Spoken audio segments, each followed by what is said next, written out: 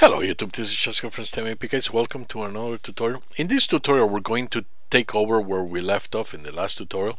As you recall in the last tutorial we went over uh, the application of Tesseract uh, um, just with the Leptonica library on, uh, on an image for plate recognition. In this tutorial we're going to be doing uh, um, it's basically the same thing but instead of just using the Leptonica library we're going to be using OpenCV and using some of the OpenCV library uh, algorithms to do some of the pre-processing for us okay? So let's get started. The first thing we need to do I, I want to show you this is this, code that I found in, at GitHub. You can go to to this GitHub account and you can uh, uh, look at it. Um, it's, it's a Python code and it's based on this paper right here that it, if you have the time you can you can read it. It's a, it's a very nice paper this one right here.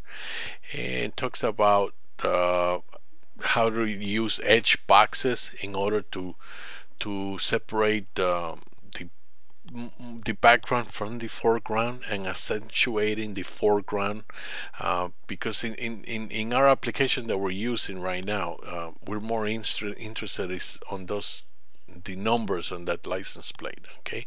So this one we'll see how it does and uh, um, in the next tutorial I'll be showing you another one okay? So um, I just want you to have many options for your license plate uh, recognition applications and you can use uh, each one. You can play with the parameters and, and, and adjust your code to whatever you want to achieve okay? But let's run it. So it lists this and this is the uh, the the um, the image. Is play one PNG it is this one right here. It is a very difficult image to work with because of the snow because of the edges uh, uh, but uh, there's a reason why I'm using it. I mean it's not an easy one. There's a lot of those those uh, snowflakes will will uh, will create a little bit of a problem for the algorithm okay? But I just want to to show it to you. So let's do in order to run this algorithm is just python extract py which is the name of the file right here and then the name of the image that we're going to be working with which will be plate 1 png and then the output file um, where we're going to um, create the new output image. Okay it has to be a, a, an image. It could be jpeg could be png it's up to you okay?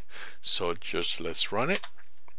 And as you can see it's going through the foreground it's going through the background intensity values and it's giving you um, it's, it's creating these files right here okay? These files display edges png okay? And as you can see this is the edge file okay? It gives you the edges. As you can see this is all this snow right here okay? And we can create now the um, show you the process file. Uh, whoops. Display process PNG and it gives you these are the edge boxes that he was talking about in his paper there. Uh, these are the the edge boxes with the intensity values okay? And display uh, rejected. To see what was rejected I just wanted to show you okay? There's all that snow there okay? A lot of that snow on the bumper as you can see and a lot of the the things that if you go into the paper you read into it you'll see why it was rejected okay? Um, and now what we can do is display the output. Let's see what the output is. With the background should be a white background because that's that's the whole point to accentuate the foreground and create a white background in the in the in the background okay?